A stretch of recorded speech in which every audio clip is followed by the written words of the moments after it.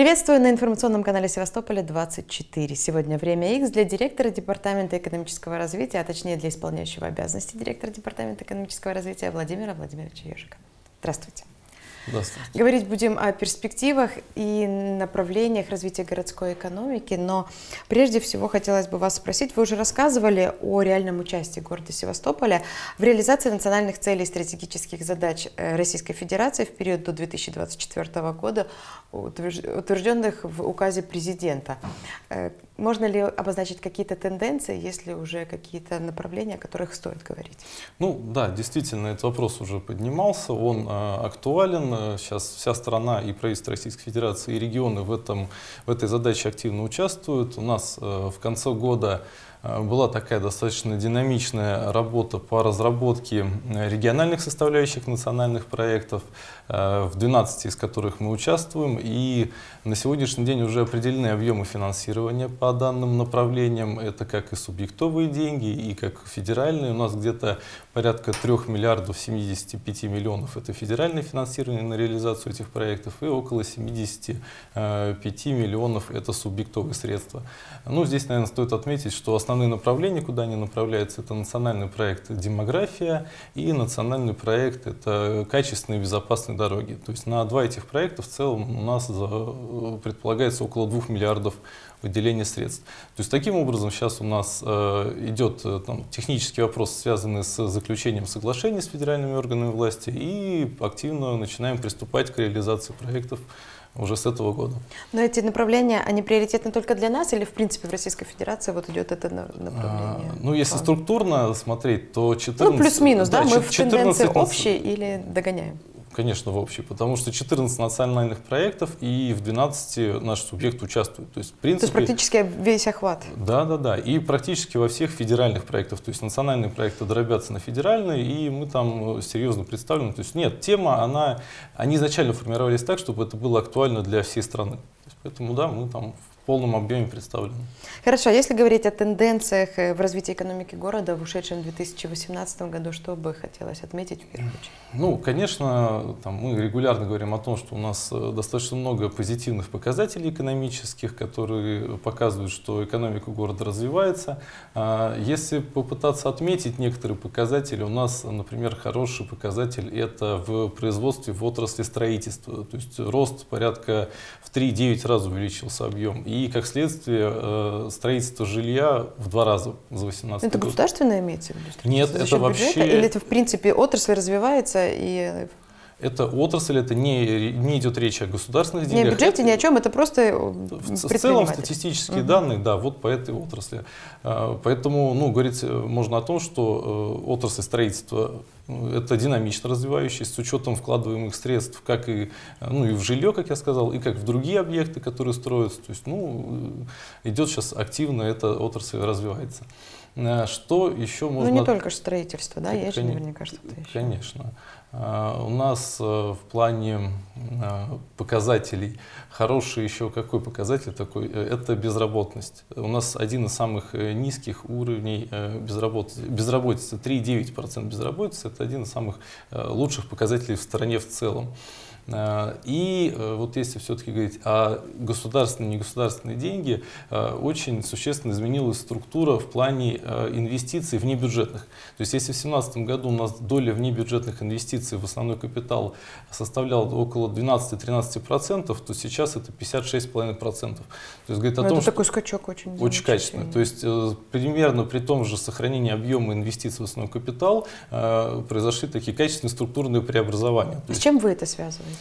А, ну, конечно, это можно связывать с тем, что э, уходит вот это э, время, когда бизнес был э, сильно осторожен, когда инвестиции и вкладывание средств в регион э, осуществлялись там с крайней э, аккуратностью, с, связаны были с высокими рисками возможными. Сейчас можно говорить о том, что вот эти риски снижаются, что э, средства начинают вкладываться в основной капитал более уверенно и э, переходим мы к нормальному, естественному экономическому Переходный период заканчивается оказывается, уже интеграция как таковая произошла, да, и Да, все можно- более-менее можно идет своим чередом и Да. уже по э, законам экономики. По, по нормальным да, процессам, когда доля частных инвестиций должна там, составлять существенную часть. Хорошо, и все же, если говорить о результатах, которых удалось достичь в развитии производственного сектора города, что еще Ну, отметить? смотрите, индекс промпроизводства у нас э, составляет там 124%. Это много? Это очень хороший показатель. В среднем по, В среднем по России э, по стране идут, ну, в зависимости от регионов, 103, 105, 108%. То есть это э, такой А нормальный самый показатель. большой у кого? Я сейчас вам по памяти не ну, во скажу. всяком да. случае, ну, мы где-то в лидерах? Да, или да, да. середине? Это один из самых там, лучших показателей. Ну, 24% это серьезный рост. А Если уж предметно его раскладывать, за счет чего, в каких Да. отраслях он произошел, то это, конечно же, пищевка, это производство пищевых продуктов. Ну, у нас всегда эта отрасль хорошо представлена, туда попадает и виноделие в том числе. А, То есть пищевая промышленность именно за счет виноделия у нас больше всего выигрывает? а, В основном рост, да. Ну, конечно же, не только. То есть, Ну, э, просто фрукты, ягоды. В меньшей степени, то есть в основном это все-таки виноградарство и виноделие.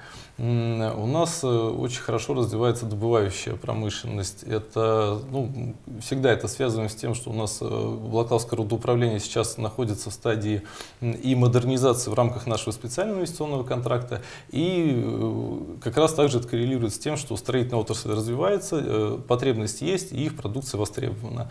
Э, И, наверное, стоит, конечно, сказать еще об отрасли там, ну, производства, ремонт э, кораблей, судов. То есть вот судостроение, судоремонт, э, как вы знаете, там была за- закладка плавкрана на Севморзаводе осуществлена, была запущена комета, достройка остальных планируется, возможно, с задействованием там, сдаточной базы в городе Севастополе. То есть вот эти отрасли, которые дают там, существенный качественный рост, поэтому реально сектор экономики находится в таком подъеме качественном. А у вас есть возможности как-то поддержать?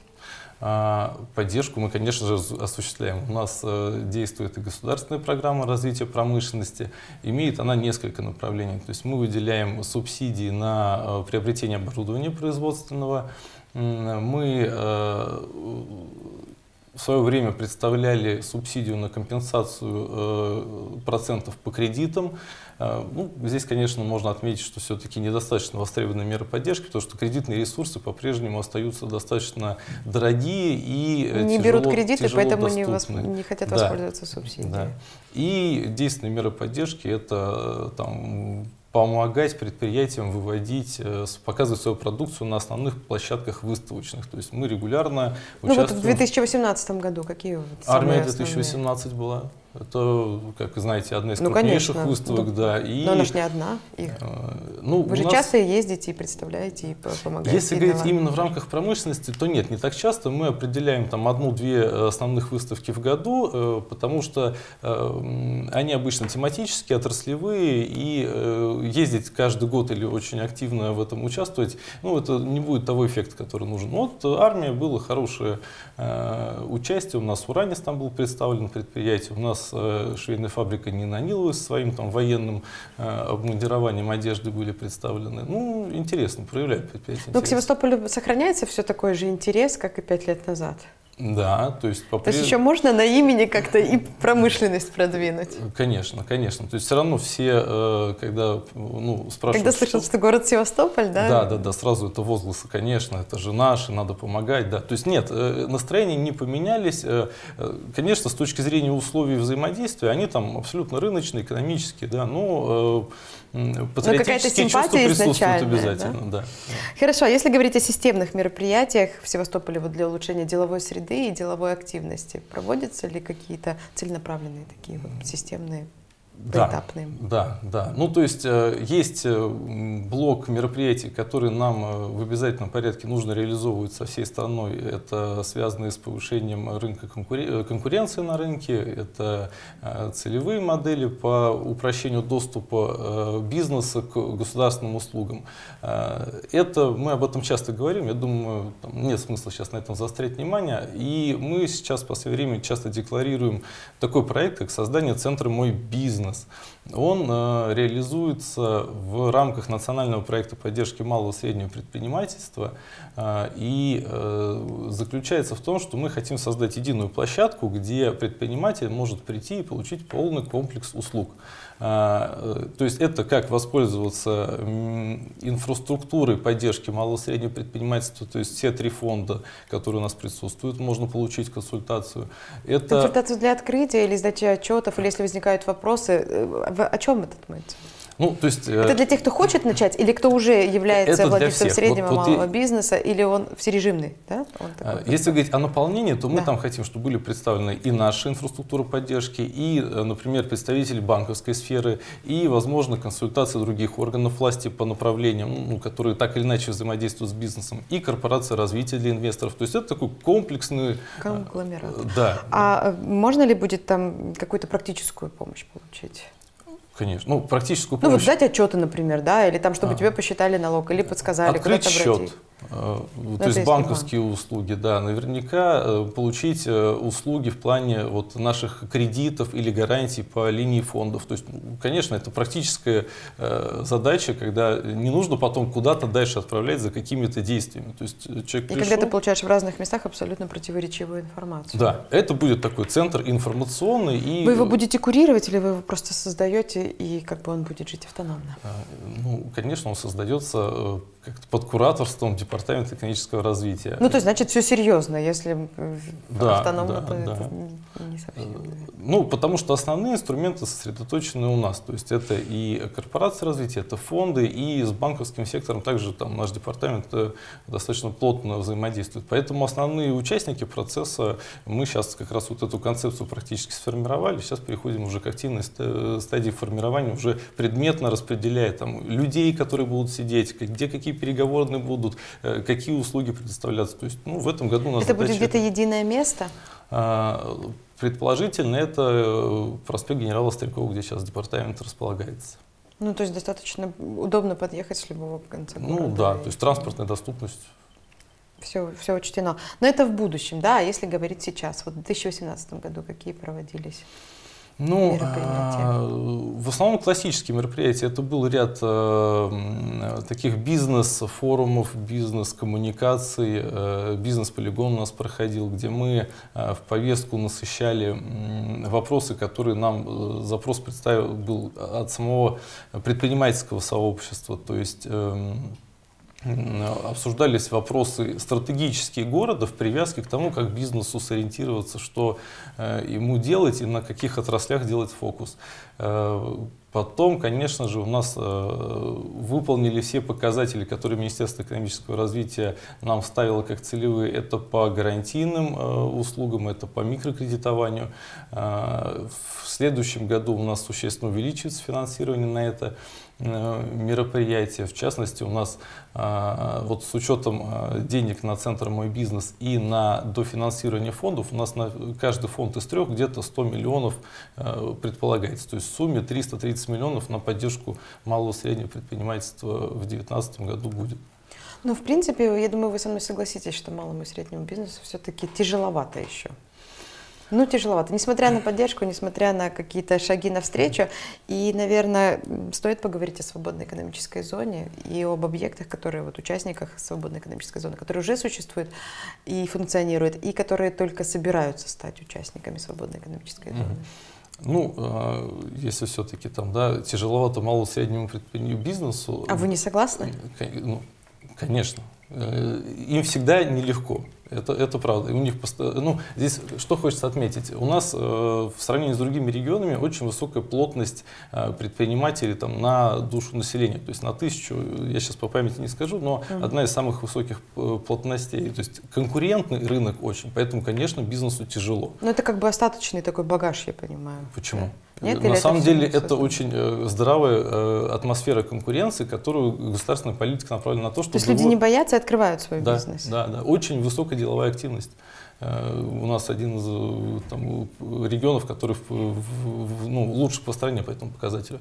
Поэтому... Потому что у нас еще какие-то льготы, потому что переходный период. С чем вы это связываете? Я думаю, это связано и с непростыми все-таки условиями, когда нужно проявлять активность, чтобы э, ну, получать тот уровень жизни, который хочется. Ну и плюс все-таки Э, туристическая отрасль, она э, дает возможность э, легко начать бизнес. Э, то есть найти того туриста, которому предложить какую-то услугу. Потенциального потребителя, для которого э, ты можешь. Да, да. Вот с учетом вот этой юг России, хорошее, э, как сказать, количество месяцев с хорошей погодой, это тоже существенно. То есть это не когда зима 8 месяцев, затраты на энергоресурсы высокие. Нет, это климатические условия, это там тоже виноградарство, виноделие, туристическое отрасль. В целом это все Э, Очень благоприятные. Благоприятные условия, да, для начала бизнеса. Хорошо, а если все-таки вернуться к свободной экономической? А, ну, более 400 резидентов у нас сейчас. Если говорить по отраслям, где они представлены, то это а, в основном а, большая часть это отрасль торговли и отрасль производства. Э, то есть в сумме они формируют большую часть всех резидентов. Э, я считаю, что это замечательное соотношение э, и вообще вот этот процент вот этого, этих секторов экономики, потому что подтверждается показатели в части инвестирования в реальный сектор экономики. То есть участники СЭС, основной, основная их задача это получить льготы взамен инвестиций и создания рабочих мест. То есть так как у нас там, в стратегии определены там, производство, э, производственный сектор как основной, э, то мы э, как раз и видим подтверждение этому со стороны заинтересованности предпринимателей. То есть они вкладывают в реальный сектор экономики. И э, вот здесь важно что отметить. Конечно, там бывают ситуации, когда так или иначе предприятиям, а, предпринимателям нужно сориентироваться. Проходит э, ряд изменений в нормативной э, документации на уровне федерального э, ну, Министерства экономического развития. У нас сейчас такой интересный, важный этап, чтобы предприятиям, участникам СЭС, резидентам продолжать пользоваться льготами по социальным взносам, по рабочим местам, по сотрудникам, которые задействованы в инвестиционных проектах, они должны Э, заявиться к нам в департамент с перечнем этих э, сотрудников. То есть даже те, кто до этого были зарегистрированы, они заново должны перерегистрироваться? Или это только для вновь прибывших? Э, речь не идет о регистрации в СЭС, речь идет об уточнении перечня сотрудников предпринимателя. То есть есть какие-то изменения и не на все распространяются льготы, получается? Эти а, просто идет упорядочивание процесса. То есть если в ранее там, да, это было достаточно простое а, ну, не, не то, что простое, а такое... Ну, упрощенная от, система, да, то есть как бы... Открытый механизм, то есть все э, сотрудники предприятия, организации, они участвовали, э, получали льготы. Э, сейчас позиция федеральных органов налоговой, что ну, давайте все-таки, чтобы не было там возможных ну, Э, мертвых душ или каких-то избыточных льгот, то давайте упорядочивать этот процесс. И Чтобы так... более прозрачно все Да. Было. И поэтому мы сейчас э, принимаем заявки, тоже декларативный э, характер. Заявки предприниматель представляет перечень сотрудников, которые у него задействованы в этом инвестиционном проекте, э, обосновывает, что они там действительно участвуют. Все утверждается перечень, и он продолжает получать льготы. Но, в принципе, вот эти 420 участников, насколько я знаю, я могу ошибаться в цифре, они пришли сразу при э, ну, вот, э, когда стало известно, что будет СЭС? Или это вот постепенно-постепенно, это волной, сейчас на каком этапе? Может быть, спад пошел? А, Насколько это интересно? На самом деле достаточно стабильные меры поддержки. Нельзя сказать, что эти все резиденты зашли в первый же год и все, и вот ничего не меняется. Нет, конечно. То есть у нас ежегодно э, пополняется порядка 100 э, резидентов, ну, вступают в свободную экономическую зону. А, это по среднероссийским темпам это норма как бы? А, ну, или ну, не так много СЭС, в принципе, А их больше Федерации. нет. Вот на самом деле... Вот только у нас, поэтому... Экономическая зона вот на таких условиях создана только в Крыму и в Севастополе.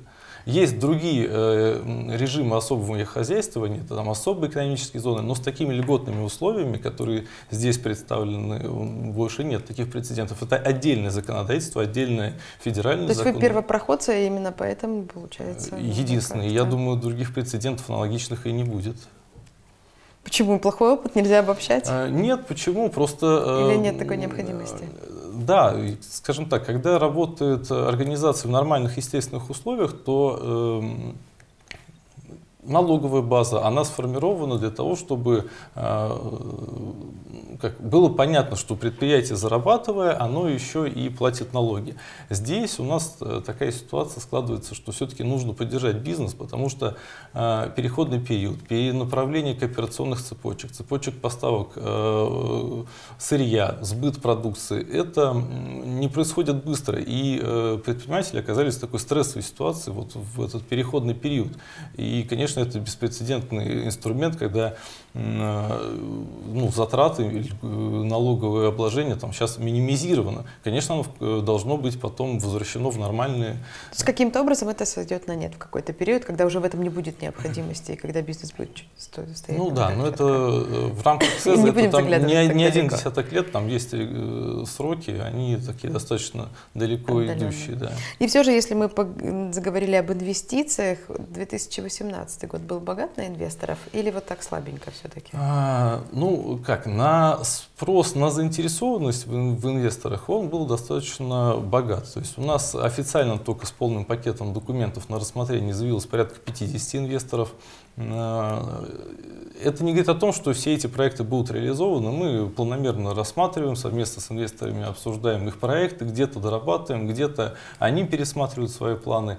А, и, э, но 50 это только те, которые зашли формально. У нас еще достаточно много переговоров проходит в таком рабочем которые режиме. почву проверяют, да? Да, да, да. Корпорация развития у нас сейчас предоставляет услуги по консультациям, ну вот по общению с инвесторами. Поэтому такая статистика достаточно неплохая. Заинтересованность э, есть, потому что все понимают, что Например, с введением транспортного перехода э, через э, Керченский пролив э, железнодорожного да, существенно упростится возможность доставки. Вся логистика, да, вся логистика будет достаточно упрощенная. Ну и все-таки как сказать, внешние рынки, они так или иначе потихоньку начинают открываться. Э, ну, мы надеемся на это, и э, предприниматели, они понимают потенциал этого региона. То есть с точки зрения логистики, месторасположения потенциал очень большой. И, соответственно, зайдя сейчас уже со своим инвестиционным проектом к нам в Севастополь, то в перспективе будет рост и э, рынка, и удобной логистической в международном плане доступности. Ну а пока моста нет, из 50 заявок, которые были оформлены бумажно, кто реально вот уже начинает инвестировать или хотя бы вот в этом году есть реальная возможность, что действительно заработает и начнутся вливания? А, ну, здесь сложно говорить о каких-то конкретных проектах, потому что все-таки это и э, коммерческая тайна определенная. Ну да, есть... ну и плюс это процесс, но тем не менее, да, из 50, там 10%, которые вот, да, реально ну, как бы... Смотрите, у нас сейчас вот из 50 8 попало в реестр инвестиционных проектов на сопровождение. То есть это те проекты, которые... То есть это уже 20%. Да, да, да. То есть, ну, я же почему говорю, вот эти 50 заявок, это уже такие э, осознанные, вдумчивые, с э, бизнес-планом да, заявки. И, соответственно, уже 8 у нас находится на сопровождении. Э, это значит о том, что мы э, в оперативном режиме осуществляем и консультации, и помощь, и поддержку для реализации этих инвестпроектов. Э, оказываем также помощь для межведомственного взаимодействия. То есть с другими органами власти, если предпринимателям и инвесторам нужно какой-то вопрос оперативно решить, мы также являемся этим одним окном. Ну, чаще всего эти инвесторы – это представители малого и среднего бизнеса? А, ну, тяжело так делить, потому что все-таки средний бизнес это достаточно... Это уже не малый, да? Да, да, то есть э, мы так не категорируем. А, интересно, что отрасли, вот нет какой-то э, там единой отрасли, которая была бы... Вот все там виноградари, да, или там... Да, вот этого нет, то есть проекты заходят совершенно разные, там туристические проекты, связанные с туризмом, там с небольшими, ну, не скажу, что гостиничный комплекс, к сожалению, может быть не так э, интересен, но все равно сфера... Ну, если он интересен, может быть, все-таки он не, не настолько легализован, да, и все-таки из, из серой зоны его надо будет потихонечку выводить, потому что потребность большая, значит, гостиничный бизнес тоже развивается. Ну, такой вопрос э, сложный, потому что вы говорите, серая зона – это тот э, гостиничный бизнес, который здесь сейчас присутствует, а я говорю про ин- а вы, инвесторов. А вы говорите про инвес- инвесторов, да, и которые а считают, сейчас что те, кто заходят, под... это всегда по белому. То есть это же серая зона, она сформировалась э, исторически, и ну, была да, возможность работать э, в таком режиме. А ну просто сложно конкурировать, когда здесь же работает человек в этом же направлении и не платит налоги, а ты должен оплатить полный комплекс, да? Ну, Возможно, поэтому крупных проектов у нас в этом направлении нет. Ну будем надеяться, что будут. Будут, будут, да, Ведь направление перспективное. Конечно. Конечно. Хорошо, а в нашем городе есть какие-то реальные меры государственной поддержки для малого и среднего бизнеса? Хоть вы и не любите, когда его так называют. Да нет, почему, нормально. А, ну, как я уже говорил, все-таки реальные меры поддержки мы оказываем и, оказываем, и будем оказывать. Можно сказать об э, новых направлениях, которые мы сейчас прорабатываем. У нас эм, в этом году заложены средства финансирования на новую меру поддержки для МСП. Это даже не то, что для малых средних предпринимателей, это скорее для открытие своего бизнеса для начинающих предпринимателей – это гранты до 100 тысяч, э, условно, вчерашним выпускникам институтов или э, средних там, образовательных учреждений среднеспециальных до 100 тысяч. То есть э, человек, если не позже трех лет там, закончил образовательное учреждение, может заявиться и, э, представив бизнес-план, ну, там достаточно такой порядок понятный, открытый, да, показывает бизнес-план, что, что он хочет, э, либо он уже открыл юрлицо, либо он его там обязуется открыть в кратчайшее время, получает эти средства и может там ряд затрат своих компенсировать. Это, ну, потратить эти средства либо на закупку оргтехники, аренды, ну, тоже стараемся никак не... Ну, какой-то перечень, да, есть определенный? Э, видов затрат, да, которые мы регламентируем. Понятно, что на покупку, там, не знаю, телефона для личного пользования это не подойдет, а вот именно на развитие, на начало какой-то предпринимательской деятельности э, э, средства будут выделяться. Вот пощупаем эту новую меру Вы поддержки. Вы думаете, сработает? А, с учетом деловой активности, которую мы вот э, констатируем, что она здесь есть, да, да, хочется вот верить, что молодые люди пойдут и будут заниматься бизнесом. Хорошо, а как вы считаете, 2019 для вашего департамента он каким будет спокойным? Конечно, нет. Ну, а, а, насколько вы знаете, там, да, количество задач у всех органов власти ежегодно, а, объем работы растет, потому что и э, федеральные деньги выделяются, и экономика начинает развиваться, все отрасли. То есть как только начинаешь браться за какую-то задачу, она так или иначе э, декомпо... собой декомпозируется еще. еще на несколько. Да. Поэтому это нормально, когда ежегодно э, работа становится больше, более сложная, более проработанная. То есть, ну, вот приходится вгрызаться, конечно. Ну, и вам придется приходить к нам, рассказывать, как это все происходит. Нам будет очень интересно. С удовольствием. С удовольствием. Спасибо вам огромное. Я напоминаю, что в гостях у студии был исполняющий обязанности директора Департамента экономического развития Севастополя Владимир Владимирович Ежиков. Вы смотрели программу «Время X. В студии для вас работала Светлана Скребец. До встречи в эфирах на телеканале X24.